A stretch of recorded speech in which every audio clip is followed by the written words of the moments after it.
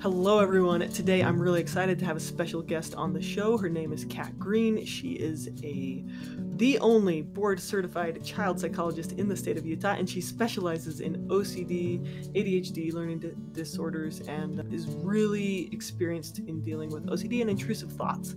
So today we're going to be asking her your questions about intrusive thoughts. And just so you know, um, Kat and I have worked together to build a course on intrusive thoughts. It's on my website, and you can find more information in the link in the description. But it goes through the four main steps of knowing what to do with intrusive thoughts because intrusive thoughts can feel scary, they can feel a little bit overwhelming. So check out the link in the description if you'd like to learn more about uh, Kat's course on uh, how to take charge of intrusive thoughts. Okay, well, let's get to these questions thank you so much for being here today. Thank you for taking the time to teach us all about intrusive thoughts. Yeah, I'm happy to be here. We asked for some questions and got a lot of them. Do you want to start with some of these really basic ones, the most common ones? Yeah, by far the most common were were the questions that actually that the course is kind of intended to address and hopefully people got answers to those questions as they went through. But I mean the big question of kind of what are intrusive thoughts, right? Like what does that encompass? And in in the course we talk through images, thoughts, videos, words. They can come in lots of different forms, but just things that they're uninvited. They in, we call them intrusive because they intrude on your life, right? They come out of the blue sometimes, and they're just associated with a lot of distress, right? They're just really uncomfortable and bothersome. A lot of people ask, kind of, what causes them but especially like why me like why are they mm-hmm. so prevalent for me and i talked through in the course that everyone almost everyone endorses yeah. having intrusive thoughts even similar content kind of across the board but there's a number of factors that make them sticky so people who tend to have higher anxiety certainly if they kind of run in the ocd realm those thoughts get stuck for a number of reasons. Part of it is kind of neurobiological, kind of predisposed to it. They get more thoughts, they're just stickier thoughts to begin with. But usually, intrusive thoughts go after what people value, what they care about. So, if you really care about something, then the, the idea of violating a rule around that is just horrifying. And so then it kind of starts this this cycle of wait, why did I have that thought? What must it mean? We've talked about this before. And so that kind of grows those intrusive thoughts over time. And then, of course, the big question for everyone was what do I do about them? Right. So like, how do I make you know, them stop? Right. Yes. How do I make them stop and go away? And, you know, the delightful answer in the course is you don't. But the good news is we can make them less scary and less sticky. And eventually they do kind of learn to wax and wane and they just don't disrupt your life as much. And I, I talk about kind of four steps, right? So identifying and labeling it first, which is harder to do than it seems. Some of the questions talked about, like in the moment, you know, how do I know if it's intrusive or not? I often tell people try and experiment. If it feels scary to call it intrusive, try it and see what happens. Right. If you're like, because it, it's it's yeah. like, oh, but maybe if I don't listen this time, something terrible really will happen. So the first thing you're doing is labeling and saying, I think that's an uninvited guest. Right? Mm-hmm. I don't I don't think I that's something I invited here. I think it's one of those intrusive thoughts. And then I always encourage people to figure out what does the thought or the feelings that come with it, what do they want? And almost always they want people to avoid or they want people yeah. to engage with them, kind of leave mm-hmm. their own life and what matters to them to totally focus on that thought or feeling. Mm-hmm. And then you have to be able to take a step back and say, okay, what do I want in this moment?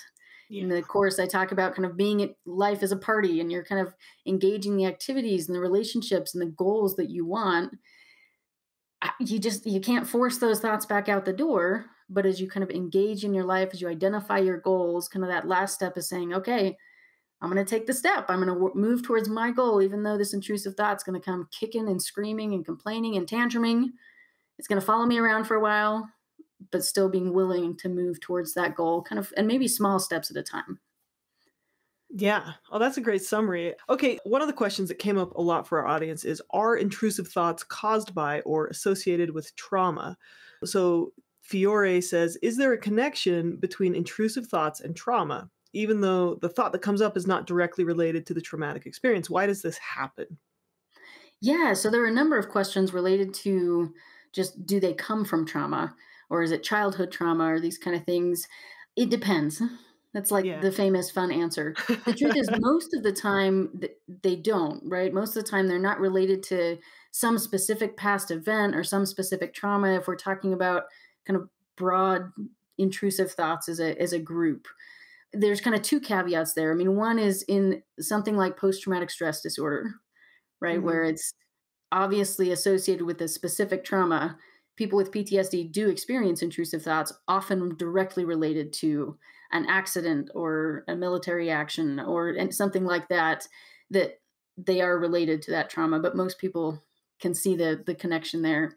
And generally kind of childhood trauma or trauma in general it does elevate your risk for kind of lots of things right? It does Mhm. increase anxiety depression intrusive thoughts kind of across the board but it's typically not like a one-to-one ratio of here's here was the trauma and here's what's upsetting Well, yeah, because trauma increases kind of people's overall anxiety and hypervigilance, right? So they're going to be a little bit more sensitive, maybe, to intrusive thoughts or to anxiety in general.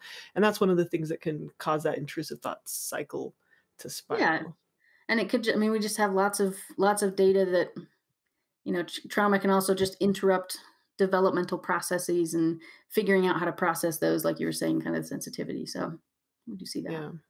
And in some ways, the treatment is similar and in some ways different, right? Like with trauma, you do some kind of body calming and facing and, and yeah so reprocessing those memories. But with, yeah with the, the intrusive thoughts, it's different. Sorry, go ahead. Oh no, you're you're spot. So the treatment for trauma, I mean, s- trauma focused cognitive behavior therapy.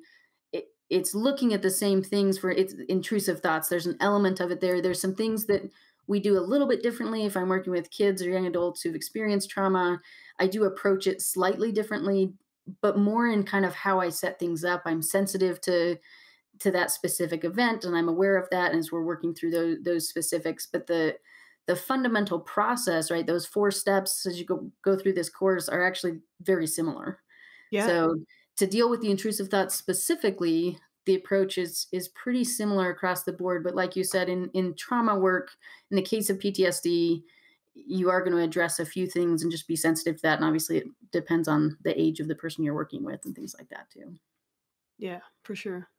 Great. Okay. You ready for the next one? i'm ready Okay. So, a lot of people asked, how do you deal with intrusive thoughts that are based in an actual problem or a real threatening situation in the past? So this comes up often, especially related to to trauma. And in my general work with exposure therapy and anxiety disorders, you know, a lot of anxiety is related to actual threat, and Yeah. then that system being completely hijacked. Right. Right. So I've, I've worked with a lot of kids who, you know, have OCD and it's contamination related. These intrusive thoughts about getting sick or vomiting, may be associated with in the past getting sick and vomiting. Right. So these Yeah. are part of it is kind of understanding if it's one of these unpleasant events or if it's an actually threatening event in the past. Mhm. Right. If it's one of these really unpleasant things that we went through and don't want to go through again, but it's not like physically harmful to us versus you like know like vomiting is really embarrassing, really uncomfortable, really awful, but it's not actually dangerous. And like right thinking about vomiting isn't actually going to hurt you. Like that thought is not going to hurt you, right right?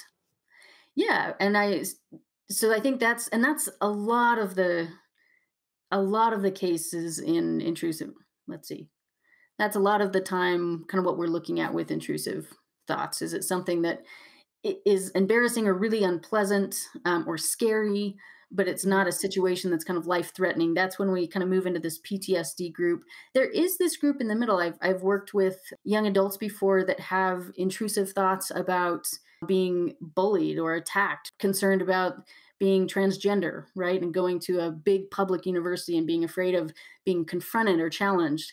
And part of what we Yeah. do is we we practice right? We practice how you'd respond and we face those fears but at some point there's also actual safety training right? Mhm. this is when there's actually a threat. This is when you should not hold your ground. If if there's an actual physical threat or danger we have to talk about those cues as well right? So hmm it's in those situations we're just it's working with people to say okay what what do you want your life to look like? How do we live it? And then where are the boundaries that we need to be aware of you know where we actually move into physical danger Yeah, yeah. Because because it like disordered anxiety at its essence is like feeling in danger when you're actually safe. And so there is a non-disordered anxiety that's like feeling in danger when you're actually in danger. And that you shouldn't be like, oh, I need to soothe my anxiety. It's more like, oh, I need to choose to like escape or fight off my attacker or hide or something like hmm some action instead of like, oh, I need to make this anxiety go away. And then there's this middle ground of like acceptable risk of like, oh, yeah like living my life involves risk. So will I accept that driving occasionally has some danger involved, right? And will I choose to drive anyway, hmm right? Yeah, and I think it's particularly difficult for people that experience a lot of anxiety or intrusive thoughts. That middle ground is hard, right? Because, yeah. you know, your brain is kind of operating from a side of overvigilance, that over threat you're talking about, and you know that, but then you're kind of it, it takes some time and some practice really to try to push beyond that and say, okay, I think this is an acceptable threat given all, you know, all, everything I know. This is what I want to move towards in my life. I think that middle ground is particularly scary for people that are tend to be overly anxious because you have Mhm. to be willing to hope, right? Be willing to hope that everything you're thinking is right, right? That it's like, Yeah. okay, I think this is going to be fine, and there's Mhm. you just you have to try it. Right. Yeah. And and with exposure therapy or trying it, right, facing it, if you really consistently do that, the anxiety generally goes down, right? Generally, our goal Not is to move them to yeah, your goal is to move move you towards just being able to live your life. Yeah. Usually it goes down. For some people, it Mhm. sticks around.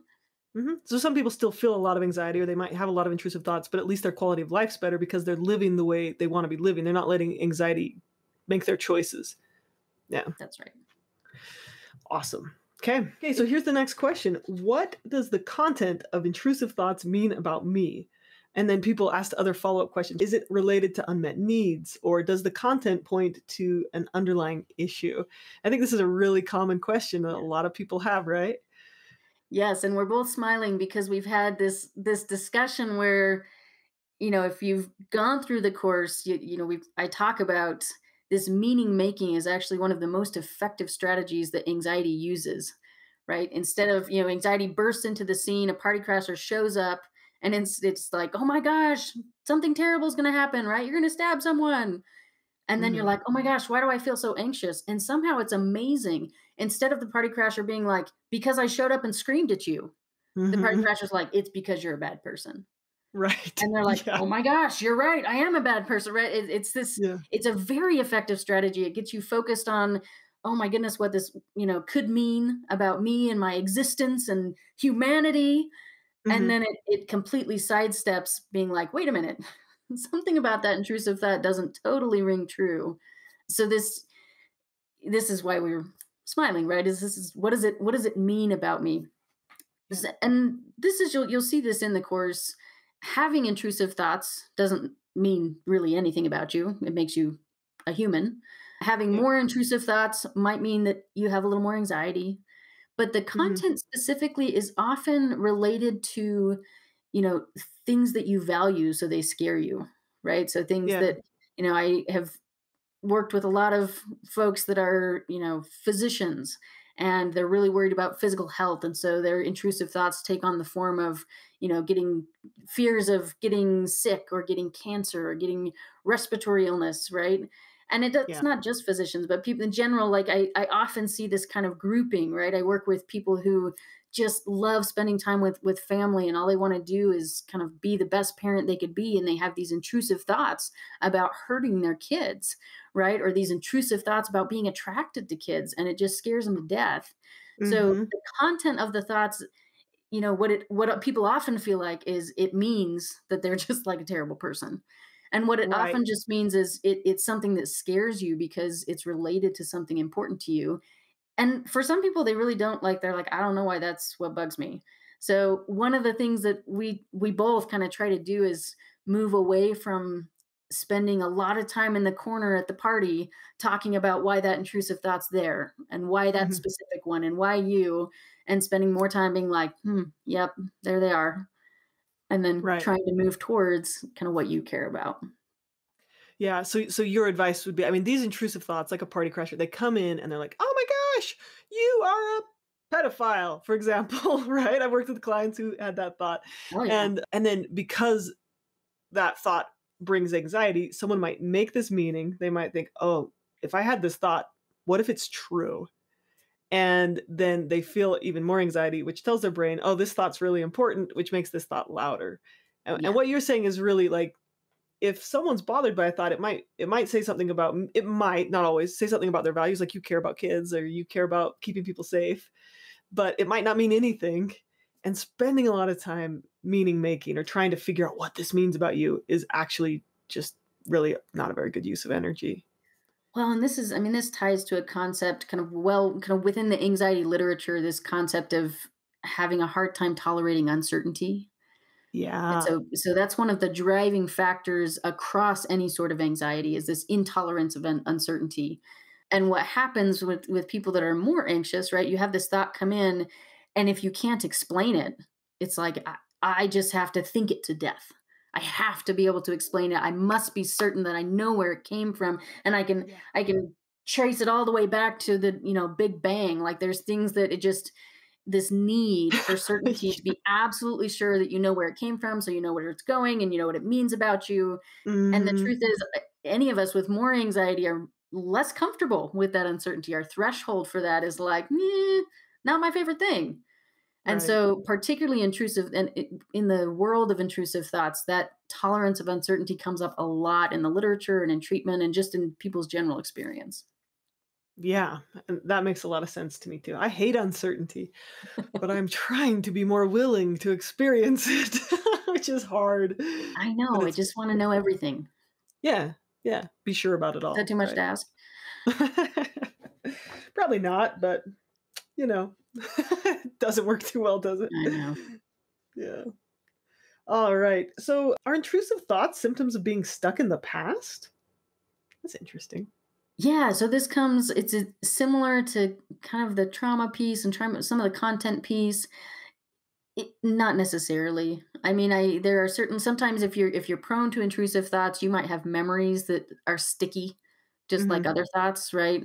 If you experience lots of social anxiety, it, you may remember all the embarrassing things that have happened and they seem to stick with you. Eh, But it doesn't necessarily mean it's it's unresolved, right? It means that that's that's something that's hard for you and our negative memories encode more strongly than our positive memories. And so this is this is one of these things that it it probably doesn't mean that there's some unresolved thing in the past. It may, it might mean that you have an ongoing fear, hmm but it doesn't necessarily. I, I think there's some danger in spending all of your time trying to go back and figure out why instead Yeah. of saying, okay, well, maybe I'll figure that out, maybe I won't. There's that uncertainty, but Yeah. I I'm going to move towards what I want now. hmm Like there's this danger of getting stuck in overthinking and overanalyzing and trying to solve everything in your head so much so that you never take the question and say, well, what do I want to be doing moving forward? Yeah, How do I I want to be call, living? I call it going down the rabbit hole, right? We Yeah. just like I'll often just pull people right out of that. They're like, "Why?" And I'm like, "Nope."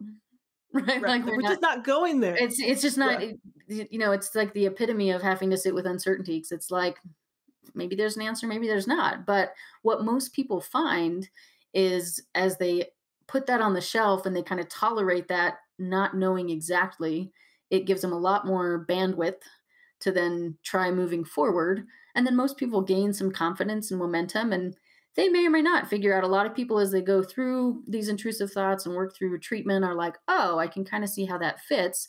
And some people are like, I don't know why this happened to me. I don't know why this sticks. But they feel way more able to say, but that's okay. I'm going to move Yeah. on. And here's what's next. And it doesn't haunt them in the same way. Yeah. Awesome. Okay, what are different ways people experience intrusive thoughts? Can they ever manifest as tics, emotions, or sensations? Yeah, this was a great question. And I I think particularly because I work with kids, I actually see a lot of tic disorders that are comorbid with OCD and ADHD. those actually come together a lot. We call it the trifecta. There's actually a whole theme or kind of group in OCD called Tourettic OCD. So it's not necessarily that the thoughts come as tics, but it's not uncommon for people to experience kind of a discomfort or urge, a feeling instead of an intrusive thought. And then that tic comes kind of close on its heels as more of a compulsion. It's also not uncommon at all for people with Tourette's or tics to find that their their compulsions related to intrusive thoughts or their behaviors blend with tics. I see that all the there, there's a proposal to call them impulsions instead of compulsions. Hmm. Uh, but I, I work with this a lot, so it's it's something that I see. It's not something that takes me by surprise. Again, it's not necessarily the intrusive thought that I see as a tic, but I can often see like an urge or just a discomfort that comes as intrusive and then a tic kind of follows. It's the same, I mean, absolutely intrusive feelings. For some people, they they have a hard time separating out the thought and the feeling. And I encourage people to work towards that. I think there's some some helpful insight there. But for for some, they may just You mean feel, like oh sorry. Uh, you mean like you know, to clarify what what like to just be like oh what is my sensation? What is my thought? and make those two very like discrete things. Yes and then for some people it may not be as discrete right? But it, what it helps kind of do is kind of set the whole the whole stage if you think about like intrusive thoughts as a party crasher.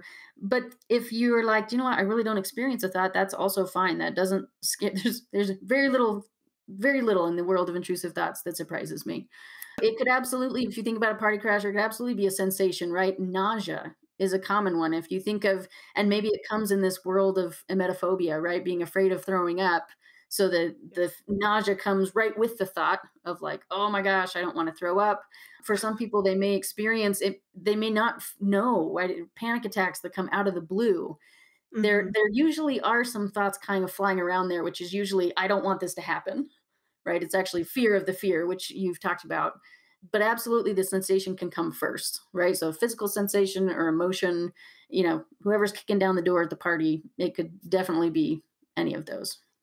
So, so if I'm understanding what you're saying, it's like something kind of comes in and we experience randomness with our physical sensations. Like we might have just a little wave of nausea come in, or we might have, like, someone with a, a tic disorder might have this urge to clear their throat, or someone might have a thought like, oh my gosh, what if I, like, do something really stupid or what if i hurt someone?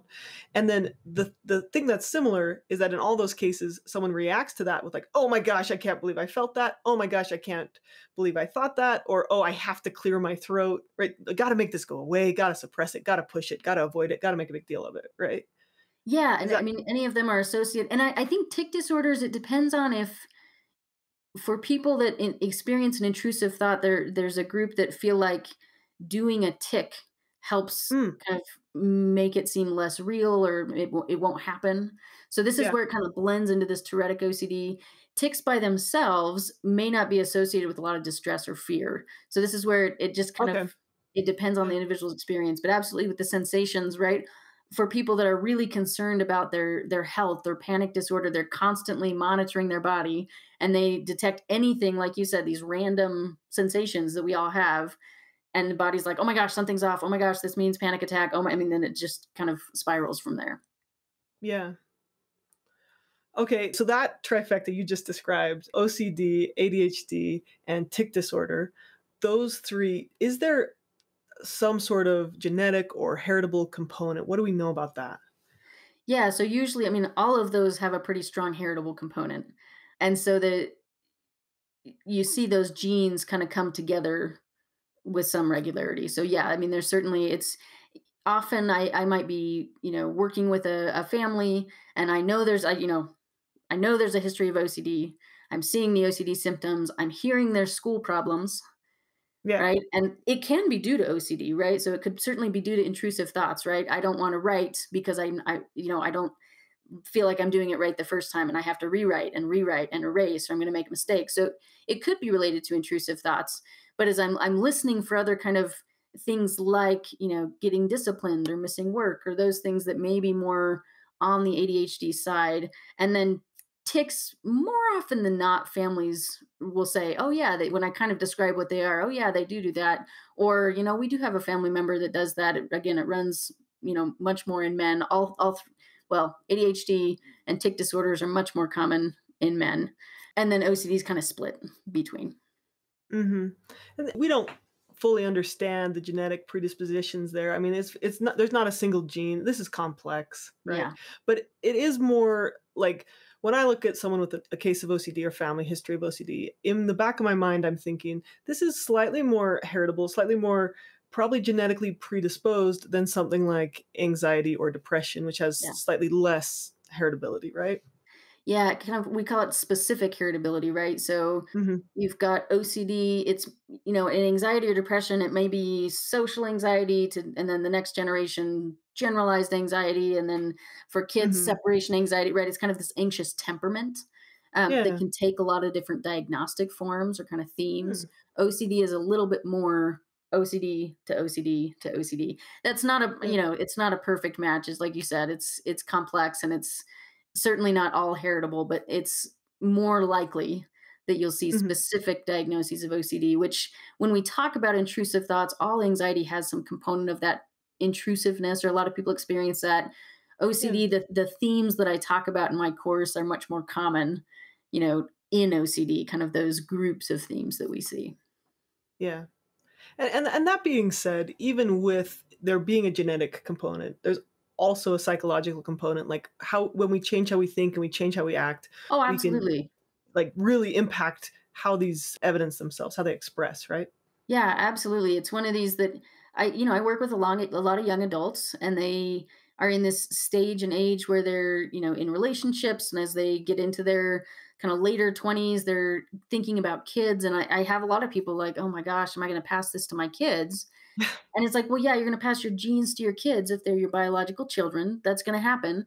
But it's, works. I mean, it it's in no mean, you know, it's by no means like a a death sentence, right? It's not. This is something that you're aware of. You might watch for it, right? It it is slightly more likely, but it's certainly not a hundred percent. You know, if you have kids, your kids will definitely have OCD. And there's so many things that you know vary and affect whether or not OCD manifests and at what age yeah. and how severe it is. And the cool thing, like you're saying, is we can behaviorally intervene and mm-hmm. adjust mm-hmm. those pathways, those kind of default pathways in the brain. They may experience more intrusive thoughts than other kids their age, right? Yeah. But you can also help them through it because that's mm-hmm. been a familiar experience.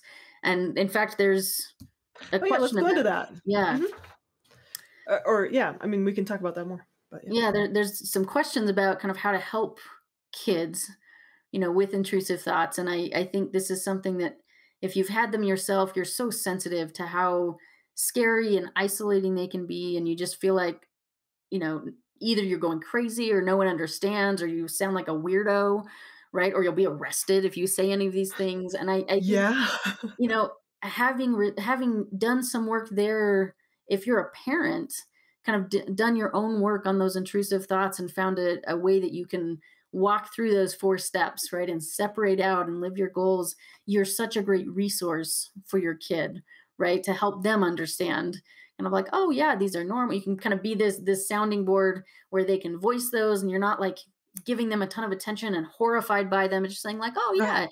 it does sound like those thoughts are trying to trying to bug you what what do you want to do right so kind of mm-hmm. helping them move towards their own values so that's what i you know working with with kids i wouldn't i try to model confidence right? Like we got this we can handle it even if your inside face is like oh my gosh i don't know it's like that's okay that's like being a parent right? But outside yeah. we're modeling yeah we got this that, that's a good question let me think about that right? And giving yeah. you some time to think about how you want to approach it but just kind of being open and collaborative with them.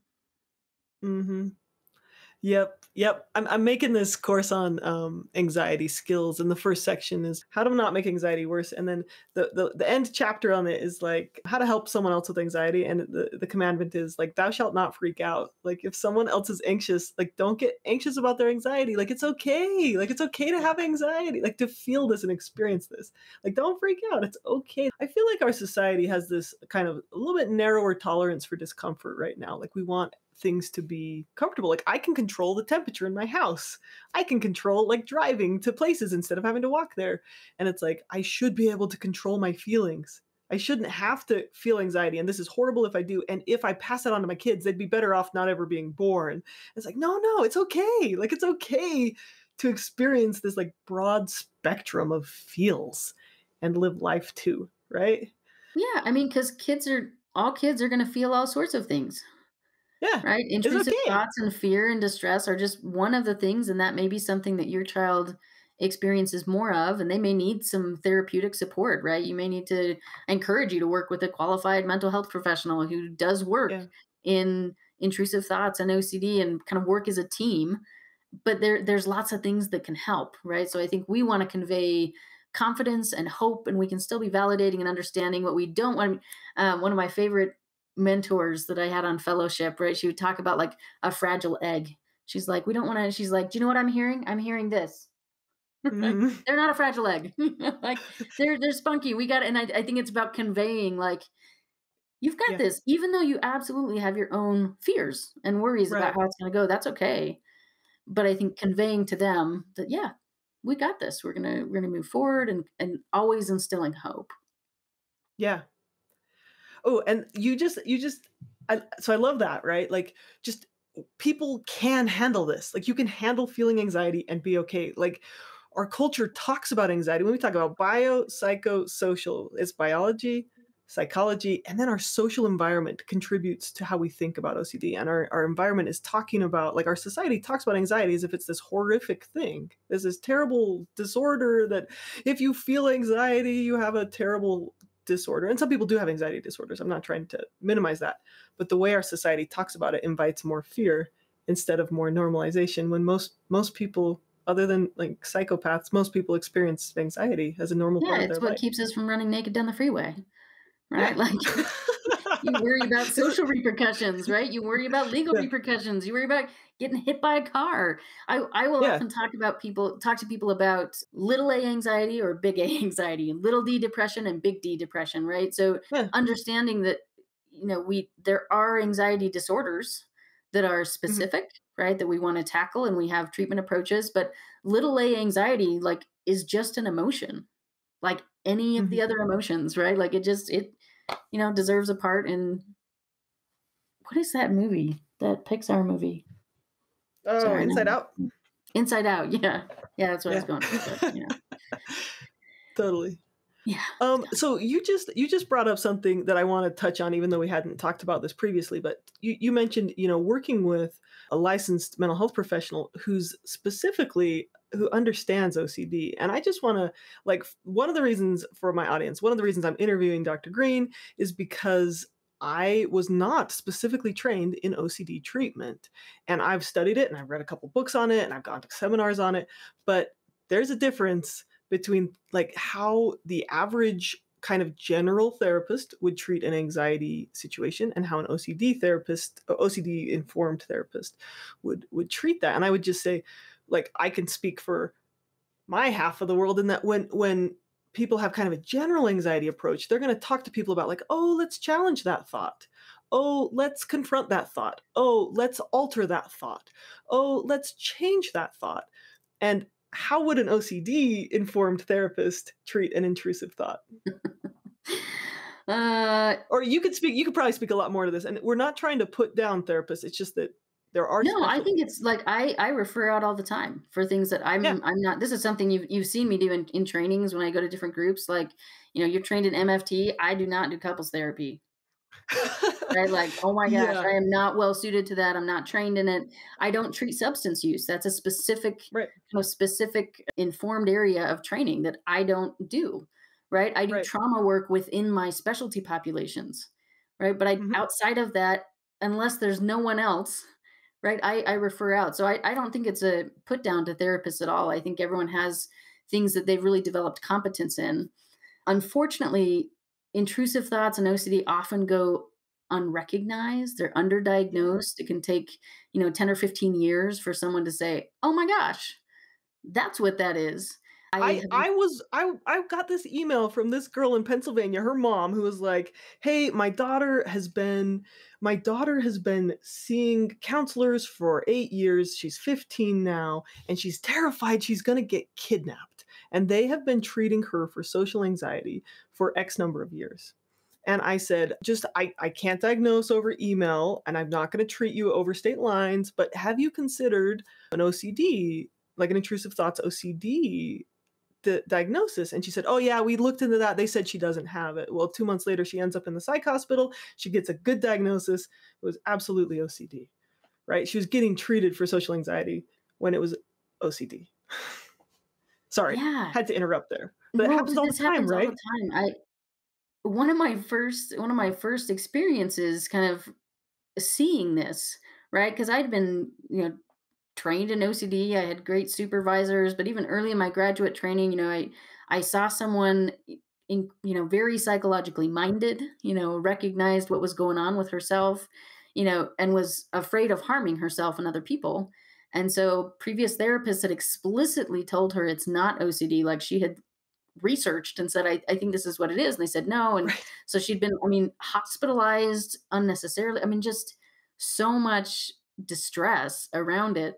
And then, you know, at the end of the interview, I was like, well, number one, you have OCD, right? So let's talk about mm-hmm. what we do about that. And it's even though it's like, okay, I don't, that's kind of overwhelming, but it feels like there's a, a path you can go, right? There's somewhere you can go from here. So to circle back around, I, I think, yeah, I think it's really important. I think especially I, I, work a lot with with kids and teens, and I think that's another skill set, right? So you need to find someone that can do both, has experience doing both. I think with adults, finding someone who specifically works with OCD. I, I, you know, you do some acceptance and commitment therapy. That's kind of a big. yeah, that's kind of one of my my primary models. Yeah, so I, I think more and more. Yeah. I think you know, ACT ACT has much more of an approach uh, similar to what exposure would be, right? Slightly different packaging, yeah. but the general approach is you know separating from the thought itself, and instead of challenging it and trying to beat it into submission, like mm-hmm. trying to change it. They've tried all that. Like if you've right. got a lot of intrusive thoughts, you've tried all those things. Right. So it's obviously it's not working. So it's taking a different approach with the thoughts where you're with the thoughts themselves, right? You're you're just allowing them to kind of come and go. And then in in exposure and response prevention therapy, you're you're moving, you're kind of doing very specific behaviors. You're essentially inviting the party crasher over and then practicing living life the way you want to without doing what it wants you to do. So, yeah, yeah, yeah, and it's, it's, just, it's a, but... mm-hmm, it's a different approach, and it's evidence based for OCD and and intrusive thoughts in a way that a general therapist m- might try to be helpful and be helpful in other areas, but not necessarily in a targeted way. In in fact, general talk therapy, if you don't have someone who's doing, I mean, I would like to see everyone doing evidence-based work in general. That's a that's a goal that I think we share. Kind of general talk therapy is often kind of directly harmful in OCD right. because it's it's giving yeah. the thoughts tons of attention and reassurance. And you know, if you talk to someone who's not familiar with OCD and you're saying, "Oh my gosh, I you know I'm worried that I'm going to stab someone," you've got them either going, "Oh, you must be really violent," or yeah. they just spend the whole session sort of saying no you won't no you won't no you won't which feels right. good in the moment but the person leaves going wait i've tried telling myself that too that doesn't work right it's mm-hmm. still here mm-hmm. so i think it's just needing to be mindful of kind of where your boundaries are and what your familiarity is and then seeking out the training you know as you're trying to expand okay you ready for the next thought i mean the next ready. question we got three more how can I not have intrusive thoughts during specific activities? Like Morphus says, I have intrusive thoughts sometimes in the middle of meditating, which is counterproductive to the whole purpose of meditation. That's my favorite line. Is there a way to minimize the likelihood of it happening while I'm meditating? Thank you. so here's the thing no. Because, like, intrusive thoughts are called intrusive thoughts because they're intruding. So I yeah. would expect them when you least want them. This is why people start withdrawing from activities that they know are going to trigger them, right? They start avoiding because they don't want to have anything to do with it. So no, you can't control when you have in fact they probably will get worse the more you try to control them. It's particularly relevant in the world of meditation because you know, I'm not a good person to talk about meditation like it takes a lot of my, it takes a lot of my energy and like my all of my inhibition and executive functioning skills to like sit through exercises right where I'm sitting. But one of the things I hate is when we see, particularly on media, meditation portrayed as clear your mind. Right. And I'm like, Yeah. they are human. How are you Mm, going to do that? Right? Yeah. Like it's just you can't clear Yeah. your mind, right? You're you're a verbal verbal person. You've always got stuff. Some people are able to get to a point where, you know, maybe that is something they they feel like they're in this very peaceful spot. But if you have a lot of intrusive thoughts, I wouldn't make it your life goal to be able to have a totally clear mind. That's probably not something that's going to happen or that is comfortable for you. So this is something that we're working towards saying, okay, how do I keep pushing through what I want to do if I want to meditate? Okay, the tantruming intrusive thought has to come with me. And eventually, I expect that it may come and go. Maybe you'll have periods where it doesn't come at all, and then periods where it pops its head back in. But this is the the kind of whole idea of intrusive thoughts is they're intruding, right? They're they're uninvited, Yeah. They're gonna show up when you don't want them the most. and you least want them. Yeah. Yeah, did I say that backwards? When they don't want them the most? Okay. So so and the thing I thought that was interesting was like my understanding, I'm a terrible meditator as well. Like I just it's so hard for me. but my understanding of mindfulness is not that we're forcing like you said, we're not forcing our, our mind to go to a blank slate. It's rather we're getting better at noticing, like just stepping back a little bit and being more aware of our thoughts without becoming attached to them without making meaning about them, without labeling them as horrific or terrible or good or bad or awesome or great or comfortable, right? So when I, when I saw that, I'm like, oh, maybe step away from meditation and practice a little bit more of the mindfulness, the basics of Mhm. mindfulness. Well, and especially if that's something that you're drawn towards, right? Some of these Eastern traditions that where we have our roots in this mindfulness, I think that's a great approach. Like if that's something that you really value, I think you pursue it. But something like mindfulness may kind of set you up a little better mm-hmm. to do the intrusive thought piece. Yeah, I, I would say so. But maybe that's just because I'm a terrible meditator. Oh my gosh, I hate it so much. okay. Is it normal to have intrusive thoughts or worries about other specific events besides those listed in the course? So, this includes things like social anxiety, a breakup, or trying to solve a problem. Yeah, so I saw this come up a lot, and I I tried to. I mean, obviously, I intrusive thoughts is most often associated with OCD, right? When we're talking about this, but the truth is, I, in any anxiety, and I tried to speak to this in the course as well. Like a lot of worries are intrusive, right? They're intrusive, they're persistent, they're unwanted, they're uninvited. So, I even though there's some distinct characteristics about OCD, I think it's helpful to to think about lots of different things. You know, if it's something that it's showing up unannounced, uninvited, it's, you know, vying for attention and control, it's trying to take you away from things that you value, right? Using fear tactics or those kind of things.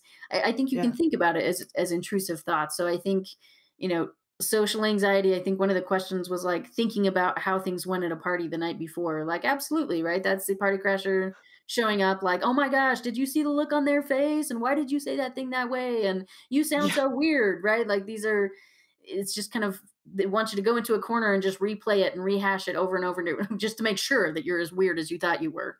Like Yes. it's the same kind of thing. So if you're kind of prone to intrusive thoughts, it may be a, a breakup that kind of sticks around. Although I'll say like things like a breakup may stick around for anyone regardless of the anxiety, right? There there may be some Yeah. replaying involved just as part of the normal process. Mm-hmm. Like it might just be like, oh, it's just normal to think about these painful experiences, Yeah. and your brain to kind of roll them over, try and work through them, or or Yeah, I mean yeah, We don't have to path- pathologize that necessarily. Like that doesn't mean you're disordered. Like it might just be your brain doing its thing. Yeah. All of this is just your brain doing its thing, right? That's it. That's all the questions I've got. All right. Well, that's, I mean, I appreciated all the questions. I thought they were really interesting. And I'm, again, I'm hoping the course addresses kind of the big hitters. But I mean, obviously, if there's others that come up after people finish the course and they're like, hey, this, you know, there's specifics, I'm happy to talk more about those or post stuff, whatever's helpful. Yeah, so if you guys, for those of you in the audience or those of you taking the course, please um, go ahead and leave uh, some more questions if you have them down in the uh, comments below, and we'll try to get them addressed as well if if more of them come up. So, yeah, thank you so much um, for taking the time, Kat, to talk with us and share your expertise. Really appreciate it. Yeah, happy to be here. Okay. Well, take care, everyone.